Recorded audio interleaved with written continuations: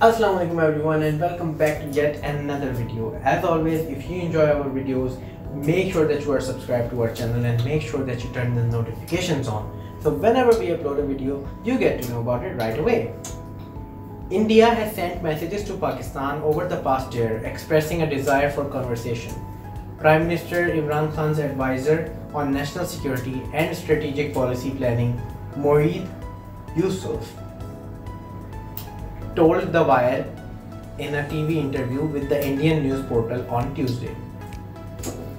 However, Pakistan would like to assess India's intent.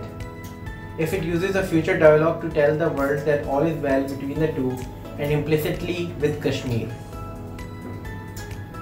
In the past year, we have got messages for a desire to conversation, Mr. Yusuf said.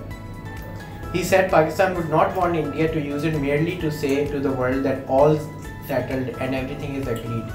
There has to be an enabling environment to talk.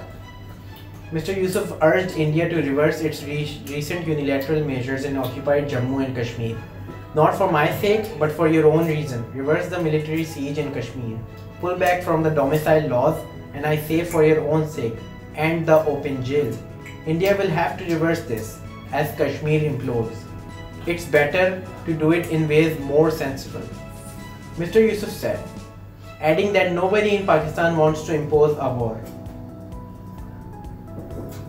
Mr. Yusuf was speaking to Karan Thapar in a rare cross-border interview, the first since India's moves in August last year to annul Jammu and Kashmir's special status. He didn't say who had sent the messages to whom and through whom. However, he insisted that Kashmiris must be a third party at these talks which is usually a non-starter for the India's Indian side. He also made it clear that Pakistan is willing to discuss terror and offer agreed between former Prime Minister Atal Bihari, A-T-A-L-B-I-H-A-R-I, and former President Pervez Musharraf in Islamabad in 2004. Pakistan, however, now sees the discussion on terror from its own prism, accusing India of fomenting terror in Pakistan. Mr. Thapar described the wide-ranging interview as quarrelsome and aggressive and even at times no holds barred. Mr. Yusuf thought it was a candid discussion. However, looking to the future ties with India, Mr. Yusuf said, we must sit down like adults. He said there are, that there are two issues, Kashmir and terror, and added that I want to talk about both. He said Pakistan stands for peace and we want to move forward. He said Pakistan's Prime Minister and its army chief desired peace with India and singled out aggressive statements from Indian counter counterparts as foiling the quest. Pakistan is the melting of all economic interests. It's not up for choosing sides. Much has been made of CPEC and China, but if the US wants to invest, they are welcome. If the UK wants to invest, they are welcome too. He said Pakistan is looking for peace in the region. We want peace in Afghanistan for connectivity with Central Asia. Connectivity with China adds 60 billion to our economy, which is a huge source of employment. Adding that in the east-west trajectory, India was an obstacle. We need to think strategically.